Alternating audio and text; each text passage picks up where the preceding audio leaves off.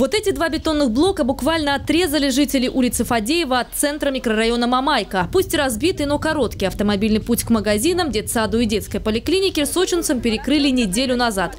Установили знаки, улица стала тупиковой. Блоки на дороге общего пользования, которые пользуются все жители микрорайона, появились 8 числа примерно в 20 часов вечера.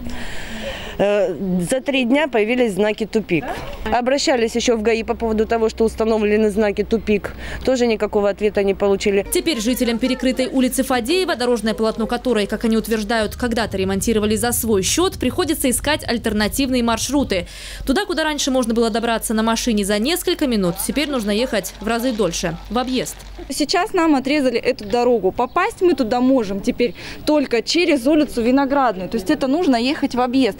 То есть у нас остался только наверх на Виноградную, который уклон идет, ну не знаю, наверное, градусов 70. Кто установил бетонные блоки и с какой целью, разобраться самостоятельно жителям Фадеева пока не удалось. Между тем, волнуются сочинцы, блоки не позволят проехать к домам ни пожарной машине, ни скорой помощи.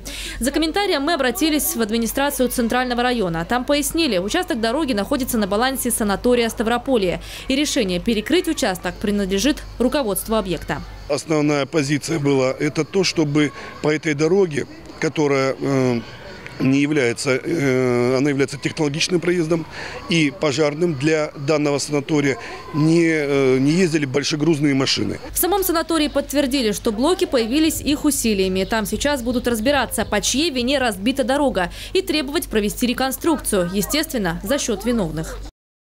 Мы перекрыли дорогу, потому что э, там не рабочая ливневка, не рабочая дорога. И поэтому весь бардак, весь мусор, вся вода, вся канализация, которая сверху там накапливается, все течет на мою территорию. Пускай застройщик, который строил эти дома, приведет дорогу в порядок, Санаторий готов убрать бетонные блоки и освободить проезд для жителей Мамайки, но только при условии, если виновные в нынешнем состоянии дороги будут найдены и она будет отремонтирована. А пока жителям Фадеева придется выбирать альтернативные пути для проезда.